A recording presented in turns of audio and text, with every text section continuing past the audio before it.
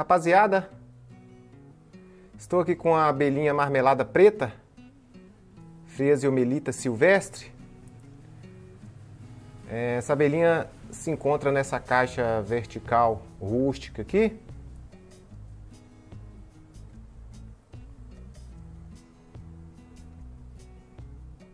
Essa caixinha, moçada,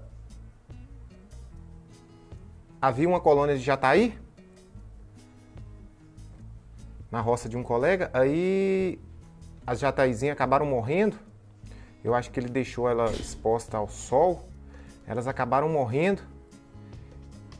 E logo depois, essa abelhinha marmelada preta assumiu aí essa morada.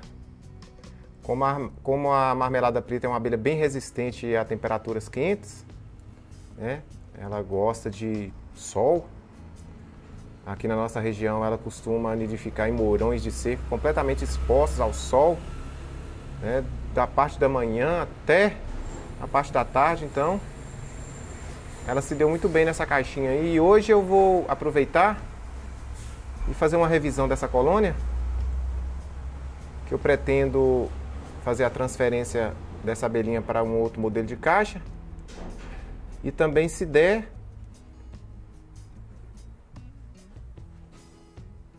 para fazer uma divisão também junto com vocês para mostrar para vocês como é que é o interior da da abelhinha marmelada preta, bacana. Então vou fazer a abertura dessa caixa que ela abre ali por trás e vamos acompanhar aí como que se encontra o interior dessa colônia.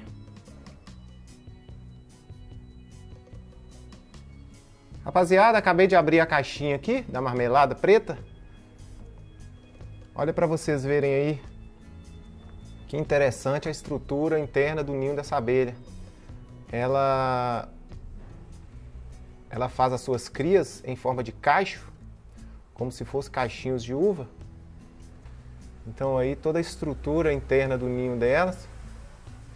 É uma abelha que produz pouco mel, mas ali a gente pode observar que elas têm uma reserva significativa de mel ali no canto, lá ao fundo da caixa. Ali tudo é mel. Então elas conseguiram armazenar uma, uma quantidade boa de mel aí. E descendo aqui, moçada, onde que se encontra a entrada delas, aqui na parte de baixo, nós podemos observar o pólen.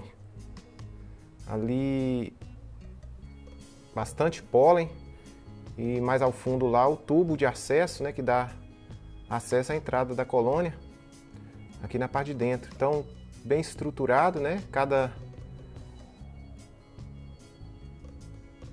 cada parte da colônia em seu devido lugar. Então elas entram aqui, já deixam o pólen aqui, aí elas já sobem, ali elas já depositam o mel e mais na parte de cima estão os filhotes, né, os discos de cria, na verdade os cachos de cria, né? Essa abelha ela não faz discos, ela trabalha com esses caixinhos aí. Esses mais esbranquiçados, mais claros, são as, as, as crias que já estão próximas a nascerem, né? As maduras. E lá ao fundo, mais marrom, mais escuro, são as crias novas.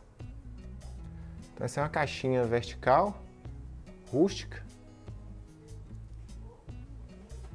E abelhinha marmelada preta. Então aqui essa caixinha tem uma tampinha na parte de baixo, essa tampinha aqui, que tapa a parte traseira aqui, parte de baixo, e essa outra aqui que tapa a parte da, das crias.